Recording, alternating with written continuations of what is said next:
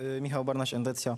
Y, Panie ministrze, nasza historia jest tak na tle Europy, a nawet świata bogata w wiele y, chwil chwały i bohaterstwa, że w filmach historycznych, także dotyczących średniowiecza, moglibyśmy zdecydowanie przodować. I tu chcę zapytać, czy we wspieraniu powstawania tych filmów, o których pan mówił, ministerstwo też zwróci uwagę właśnie na te kwestie tych dawniejszych dziejów.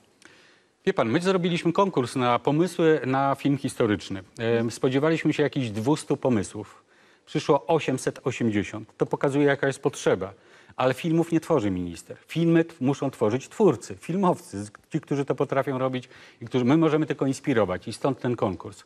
I proszę sobie wyobrazić, że z tych 880 pomysłów połowa, 440, dotyczyła 6 lat naszej historii, II wojny światowej. To świadczy o tym, że sami Polacy uważają, że mamy dużo do opowiedzenia, że e, strasznie dużo wątków jest do opowiedzenia z czasów II wojny światowej, choć żadnych ram czasowych żeśmy nie określali. Można było składać pomysły również dotyczące historii średniowiecza i takie pomysły, Ale pomysły są. Bitwa pod Wiedniem stworzyli Włosi, mimo że grali tam No polscy i aktorzy. tak, to i jest nie, najlepszy, problem i, nie najlepszy chyba był Panie ten ministrze, e, jeszcze pytanie z Natomiast- studia. natomiast już, już. Jacek Stryczek też chciałby panu zadać Dobrze, pytanie. natomiast e, powstanie, moim zdaniem powstaną filmy na podstawie powieści herezińskiej i one dotyczą średniowiecza.